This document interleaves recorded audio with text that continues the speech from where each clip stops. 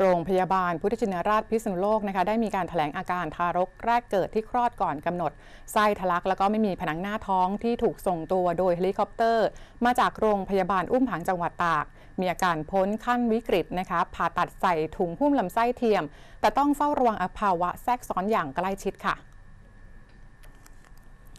นายแพทย์สุชาติพรเจริญพงศ์ผู้อำนวยการโรงพยาบาลพุทธชินราชพิษณุโลกแถลงอาการทารกแรกเกิด ที่คลอดก่อนกำหนดลำไส้ทะลักไม่มีผนังหน้าท้อง ถูกส่งตัวจากโรงพยาบาลอุ้มผางจังหวัดตากมารักษาที่โรงพยาบาลพุทธชินราชพิษณุโลก เป็นทารกเพศชายนะคะอายุครรภ์ประมาณ 36 สัปดาห์ มารดาคือนางสาวนวพรยอดวงศาอายุ 16 ปี ชาวอำเภออุ้มผางโดยก่อนมาถึงโรงพยาบาลพุทธชินราชทารกมีภาวะหยุดหายใจเป็นระยะ ประมาณ 10 นาที ทีมแพทย์ได้ช่วยกันปั๊มหัวใจจนกลับมาหายใจได้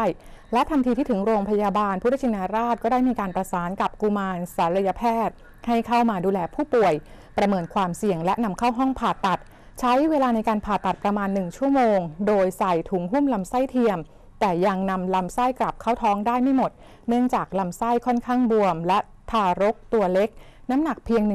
1,590 กรัม อนาคตต้องมีการผ่าตัดใหม่อีกครั้ง ขณะนี้ได้พักรักษาตัวอยู่ในหอผู้ป่วยหนักทารกแรกเกิด ซึ่งพ้นขั้นวิกฤตนะคะ แต่ก็ต้องใส่เครื่องช่วยหายใจ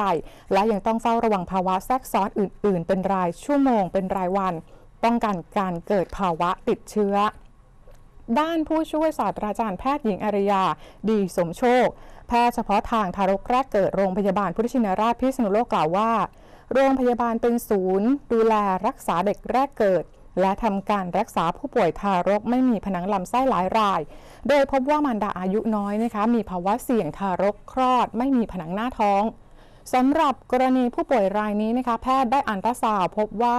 เด็กมีการเต้นของหัวใจอ่อน จึงทำการผ่าตัดคลอดก่อนกำหนด เนื่องจากมีภาวะเสี่ยงที่ทารกจะเสียชีวิตในครรภ์และพบว่าทารกไม่มีผนังหน้าท้องค่ะ การผ่าตัดในเด็กนะครับ คือคุณหมอเยาวรักษ์คำนวณให้มาช่วย ดูประเมินว่าเป็นยังไงนะครับ ก็เข้าห้องผ่าตัดมาถึงก็ไม่นานก็เข้าห้องผ่าตัดนะครับ ใช้เวลาผ่าตัดไปประมาณ 1 ชั่วโมงนะครับการผ่าตัดก็คือใช้ถุงที่เป็นหน้าท้องเทียมเนี่ยคลุมลำไส้เอาไว้นะครับ ก็ได้บางส่วนนะฮะเพราะว่าออกมาค่อนข้างเยอะยังไงก็คงต้องต้องรอดูอาการแล้วก็อาจจะต้องในอนาคตไม่แน่อาจจะต้องมีการผ่าตัดซ้ำอีกครั้งหนึ่งนะครับหลังจากที่ออกจากห้องผ่าตัดแล้ว ก็ยังต้องใส่ท่อช่วยหายใจอยู่นะครับ ให้ยากระตุ้นหัวใจแล้วก็ช่วยเหลือทางด้านทางเดินหายใจนะครับ เนื่องจากว่าเด็กน้องน้ำหนักน้อยนะครับ น้ำหนักแค่พันเก้าร้อยห้าสิบกรัมก็เรียกว่าเป็นทารกที่คลอดก่อนกำหนดนะฮะคลอดก่อนกำหนดก็คงต้องดูแล เนื่องจากว่าอวัยวะภายในยังทำงานได้ไม่เต็มที่นะครับ โดยเฉพาะในเรื่องของปอดในเรื่องของการหายใจนะฮะก็คงต้องดูแลอย่างใกล้ชิด เรื่องของสัญญาณชีพ เรื่องของความดันการหายใจภาวะออกซิเจนในเลือดเนี่ยค่อนข้างดีนะครับ หลังจากที่ผ่าตัดแล้ว แล้วก็อาการล่าสุดเมื่อเช้าไปดูนะครับ ก็พักได้นะฮะน้องพักได้อาการค่อนข้างจะสงบดี ต้องให้ยาลดอาการปวดเป็นพักๆนะครับ แล้วก็ก็ยังต้องใส่จังหวัดนครสวรรค์นะคะก็ได้มีการฝึกซ้อมอพยพหนีไฟในสารกลางจังหวัด ในโครงการป้องกันและบรรเทาสาธารณภัยจากอัคคีภัยค่ะ นายธนาคมจงจิระผู้ว่าราชการจังหวัดนครสวรรค์พร้อมด้วยนายประทีปศิลปเทศ รองผู้ว่าราชการจังหวัดนครสวรรค์ และหน่วยงานที่เกี่ยวข้อง ได้เข้าร่วมฝึกซ้อมอพยพหนีไฟในพื้นที่สารกลางจังหวัดนครสวรรค์ ตามโครงการฝึกป้องกันและบรรเทาสาธารณภัย จากอัคคีภัย และอพยพหนีไฟในพื้นที่สารกลางจังหวัดนครสวรรค์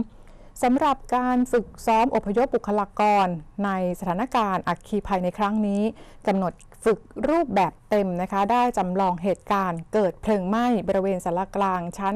2 ไฟลุกไหม้เป็นบริเวณกว้างทำให้เจ้าหน้าที่บริเวณชั้น 3 ชั้น 4 และชั้น 5 ต้องอพยพหนีไฟออกบริเวณด้านข้างของสารกลางทั้งนี้ก็เพื่อให้ผู้บริหารข้าราชการ ลูกจ้าง ประจำพนักงานราชการ ลูกจ้างของหน่วยงานและผู้ที่เกี่ยวข้อง ที่ทำงานในสารกลางจังหวัดนครสวรรค์และหน่วยงานข้างเคียง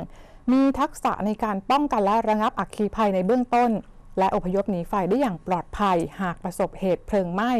และเพื่อเตรียมความพร้อมของเจ้าหน้าที่หน่วยงานที่เกี่ยวข้อง ให้ตื่นตัวในการเตรียมปฏิบัติงานในยามเกิดอัคคีภัย ซึ่งจะช่วยลดความสูญเสียทั้งชีวิตและทรัพย์สิน หากเกิดสถานการณ์ดังกล่าวขึ้นจริงค่ะ